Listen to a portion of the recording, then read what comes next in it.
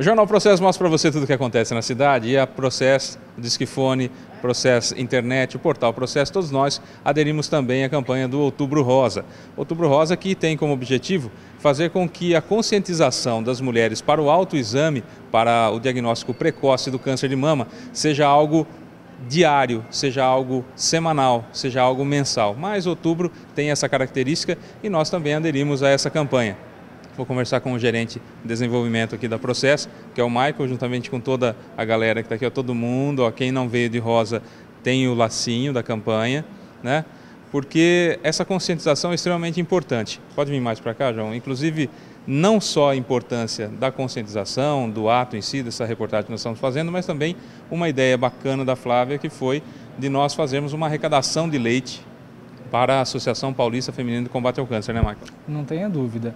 É, eu acredito que é, essa campanha do Outubro Rosa é fundamental para que as pessoas possam se conscientizar né, da, da, da prevenção em si do câncer de mama para um diagnóstico uh, precoce, né, que vai contribuir, claro, para que o tratamento seja mais adequado, né, tenha um resultado mais efetivo. Né? Então é isso que, que, que, a gente quer, que as pessoas tomem essa consciência né, da importância da, uh, da do autoexame, por exemplo, do, do, câncer de mama. Né? Como a, nossa, a maioria dos nossos funcionários são mulheres, das nossas colaboradores são mulheres, a gente resolveu aderir a essa campanha fazendo a nossa parte, é, até porque várias atividades em todo o país estão sendo realizadas, né?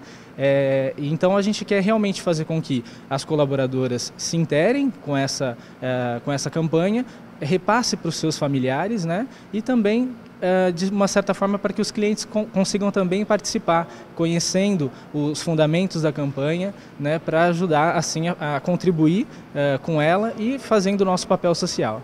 Sem dúvida nenhuma, Flávia. Vem cá. A ideia foi da Flávia e nós vamos doar o litro de leite. Como é que foi? Cada um traz um litro de leite, é isso? Isso, cada um traz um litro de leite, não só pela conscientização, né? É, do câncer de mama, mas também para a gente estar tá doando o litro de leite é, para uma instituição. Uh, você também, de fora, pode estar tá trazendo, que a gente vai estar tá com a caixa até dia 30 do 10, aqui na Processo. Então você faça a sua doação, tá? Traga para a gente um litro, dois litros, quantos vocês quiserem, que a gente vai estar tá doando dia 30 e o Fábio vai estar tá acompanhando também para ver qual instituição a gente vai estar tá levando. Tá bom, a gente vai fazer a doação então para a Associação Paulista Feminina de Combate ao Câncer, que tem um trabalho muito bonito em Matão. A Digimagem enviou um vídeo para a gente, nós vamos colocar logo aqui embaixo, também nessa matéria você pode assistir esse vídeo da Digimagem, que são com guerreiras que conseguiram vencer a luta, a luta contra o câncer.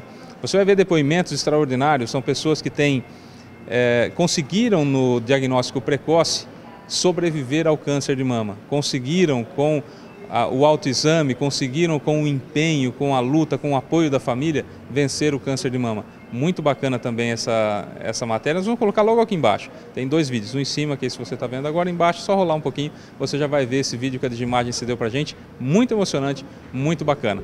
É a parte social que a Processo vai fazendo para você. Sempre, né? Tudo que envolve a cidade, o Jornal Processo, o Portal Processo, a Processo como um todo, o Disquefone também nessa, nessa empreitada, faz o melhor para a cidade de Matão. Portanto, participe, certo? Fábio Pereira para o Boletim Informativo do Jornal Processo.